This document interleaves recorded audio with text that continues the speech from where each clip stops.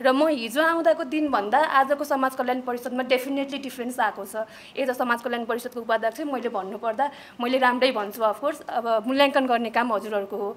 अब कतिपय कुरामा सुधार पनि भएको छ कतिपय कुरा गर्नुपर्ने छन् कतिपय कुरा पाइपलाइनमा छन् र कतिपय कुरा चाहिँ पोलिटिकल इन्स्टेबिलिटीले गर्दा पनि यो ती तिन महिनामा चार चार महिनामा मन्त्री चेन्ज हुने गभर्मेन्ट चेन्ज हुने कुराले पनि धेरै असर सिभिक स्पेसलाई पनि पारेको हुन्छ समाज कल्याण परिषदलाई पनि पारेको हुन्छ र सरकारी अरू निकायहरूलाई पनि पारेको यथार्थ हामी सबैलाई थाहा नै छ र त्यसको पनि हामी चाहिँ हामी पनि सिकार छौँ त्यसको एक प्रकारले। त्यो मैले भनिरहनु पर्दैन। मलाई चाहिँ म चाहिँ के कुरामा क्लियर छु एज अ उपाध्यक्ष भने नीतिगत क्ल्यारिटी नहुनाले यी सबै समस्याहरू आइरहेका छन्। समाज कल्याण परिषदले के गर्ने? जिल्ला प्रशासनमा संस्था दर्ता गर्ने कि नगर्ने? एकीकृत सामाजिक विकास ऐनमा संस्था दर्ता गर्ने प्रावधान समाज कल्याणमै गर्ने गरी लिएर आउने कि? त्यसले गर्दा हडल्स जुन बाह्रवटा स्टेप जानुपर्छ दर्ताको स्टेप चाहिँ एकदमै दुःखदायी छ भन्नुभयो अघि सरले। त्यो कुरा चाहिँ जानु पर्दैन थियो कि।